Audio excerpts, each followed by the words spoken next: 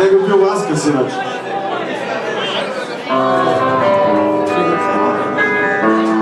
Evi, ćeš ti izjaviti za dnevnik.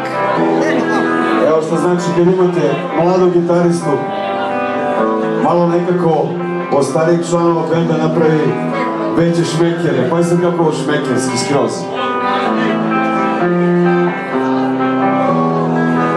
Samo da sam žensko, dao biti. Aj, jebi.